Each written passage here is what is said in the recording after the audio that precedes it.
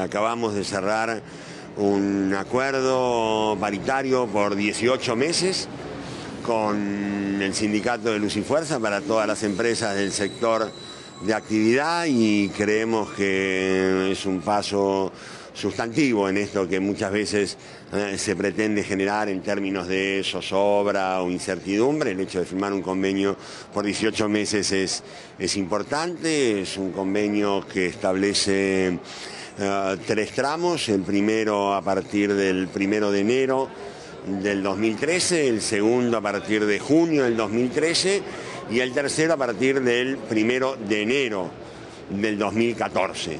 Eh, el primer tramo es de un 18%, el segundo es de un 5%, esos son los dos tramos de 2013 y luego del 7% a partir del 2014. Hemos hecho una propuesta que, que ha contado con el apoyo y con el consenso tanto del sector empresario como del sector sindical.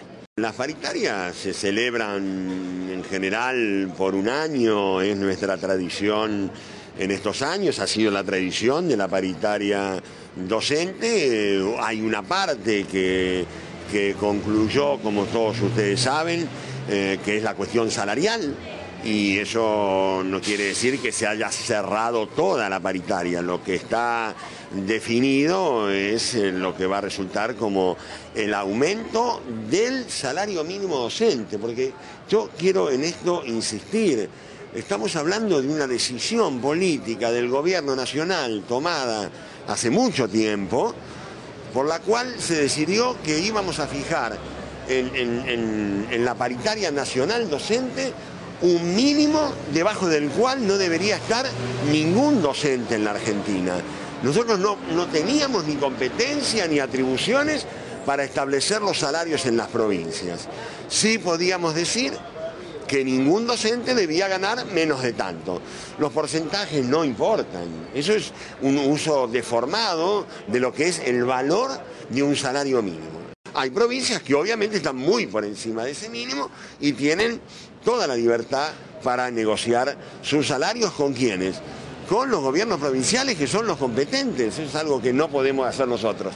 Así que este traslado que muchas veces se quiere hacer de lo que ocurre en la paritaria nacional eh, docente con las negociaciones provinciales, realmente es una distorsión que, bueno, que ahora vemos que no tiene resultados concretos. Nosotros tenemos facultades para establecer el salario mínimo docente y es lo que hemos hecho.